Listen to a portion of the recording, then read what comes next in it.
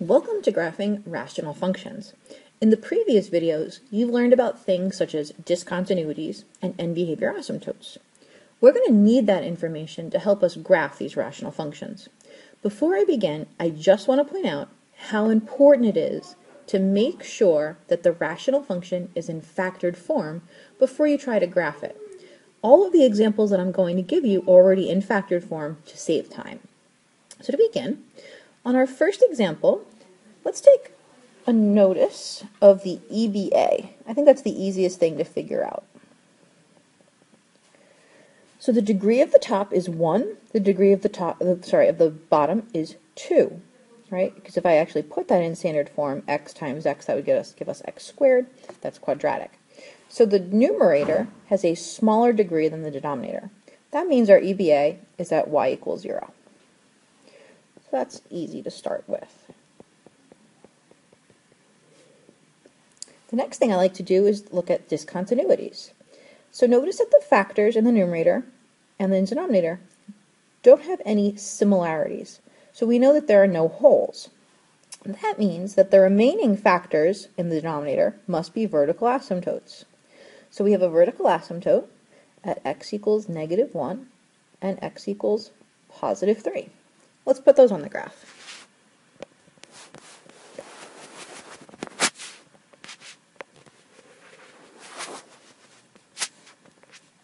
Excellent you'll notice that your graph has what looks like six quadrants now.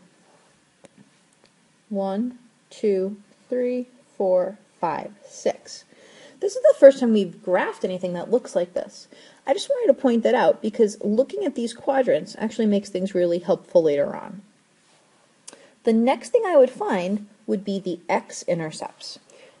The x-intercepts are very easy to find. I'm just going to change color here if you look at the numerator. If you have a fraction and you want to know where does a fra or what values makes a fraction equal to zero, the numerator would have to be zero. And as long as the denominator is not zero, then it doesn't really matter what's in the denominator. So what makes this numerator equal to zero? Well, that would be 4. So we have x-intercepts, only one of them, at 4 comma 0. Another reason I like to change points at this stage is because the blue, right, those are asymptotes, they're not actually points on our graph. What I just put at 4, 0, that actually is a part of the function. There is a point at 4, comma 0.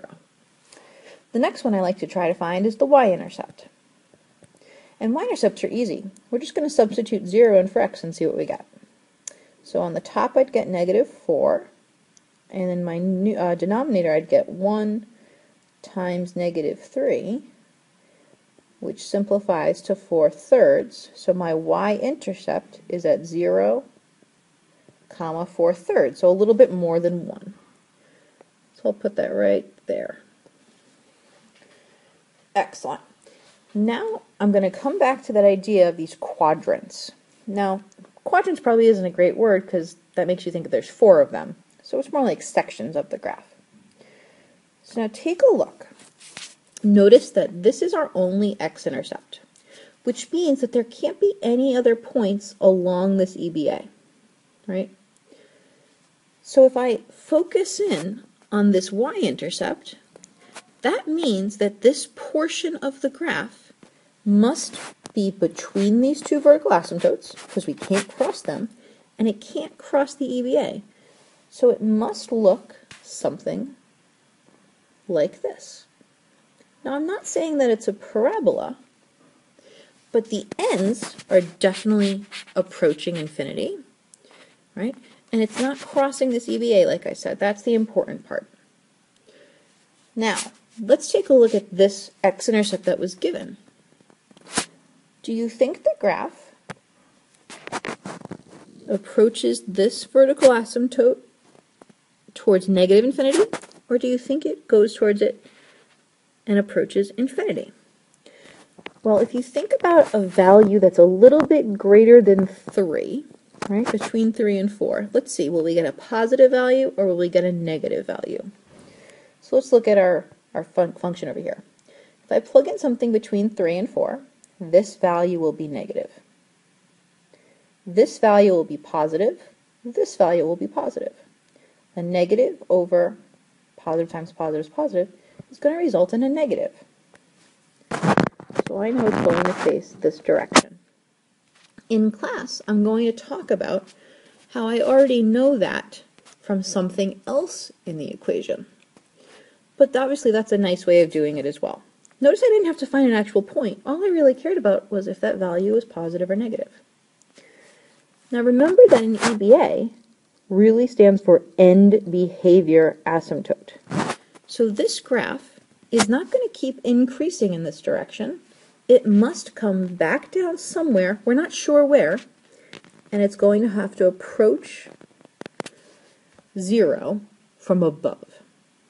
So you see how I have that little bump in the graph, like a little maximum there?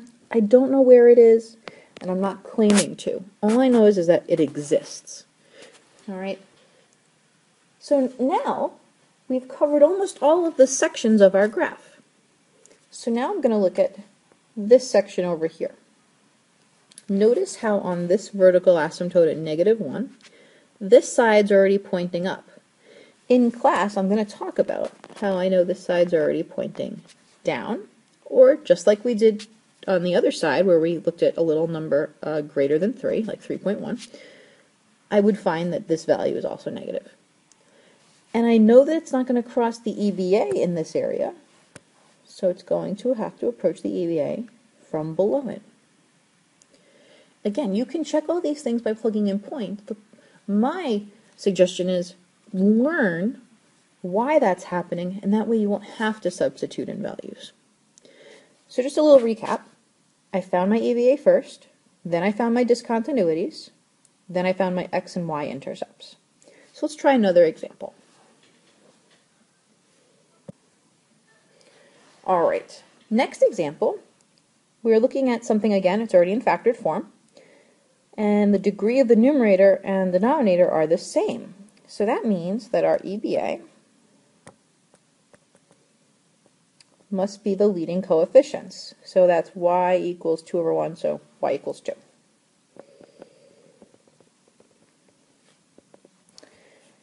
All right, time for discontinuities.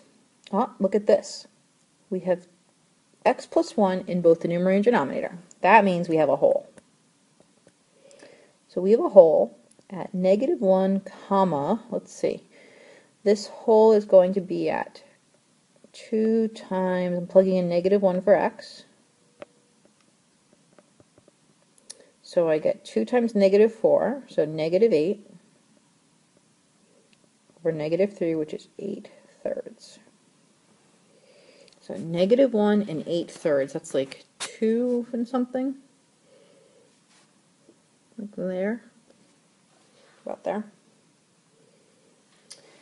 But we also have a vertical asymptote at x equals 2. Let's put that on the graph. Okay, so we have our discontinuities on the graph. Let's go to some actual points like x-intercepts. So x-intercepts, I'm going to look at the numerator and figure out what makes it 0. Only one value, and that's 3. There's my x-intercept. How about a y-intercept? That's where we plug 0 in for x.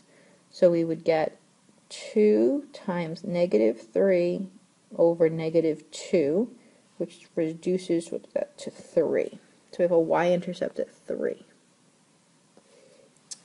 All right, so again, I'm going to look at these quadrants. And you can kind of see which quadrant the graph's going to show up in. I see this one right here right? You can kind of see how it's increasing towards infinity in that direction. And then we have this here. And then we have a point in this quadrant, which has to approach the EBA. That one's going to come in from below.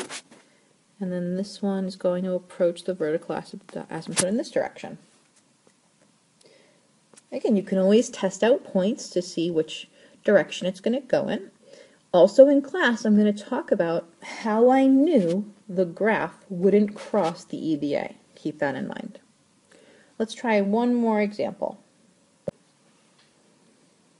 Okay, obviously I saved the best for last.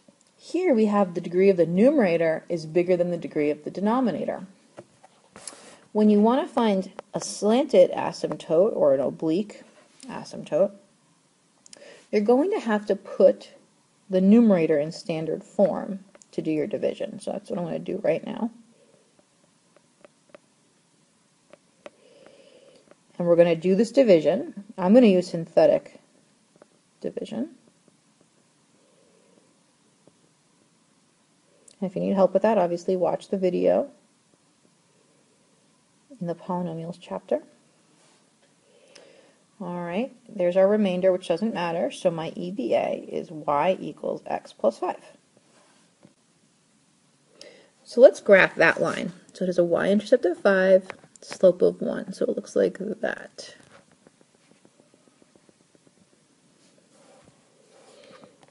Okay. Next up, discontinuities. So no factors are the same in the numerator and denominator, so there are no holes. That leaves us with a vertical asymptote. And again, I'm looking at just the denominator for that, and that would be x equals 2. That would make our denominator 0.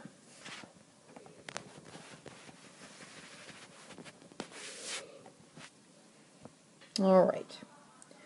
Next up, let's find some points. Let's start with x-intercepts. What makes the numerator 0? That would be 1 and negative 4.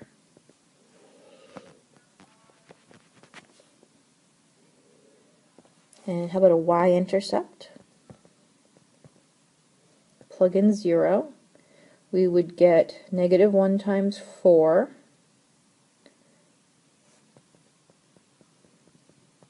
over negative 2, so that would be positive 2.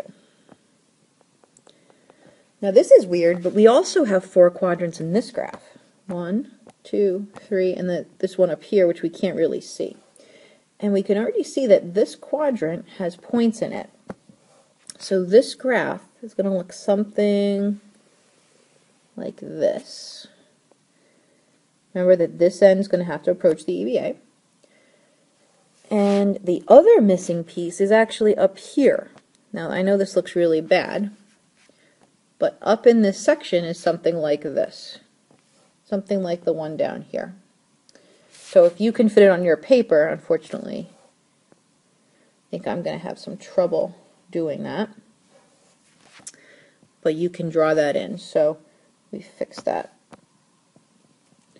Just to make sure you have it right, it's going to approach this vertical asymptote towards infinity, and then it's going to approach the EBA as x goes towards infinity there. All right, so we did three different examples, and hopefully in class you'll get to do a whole lot more.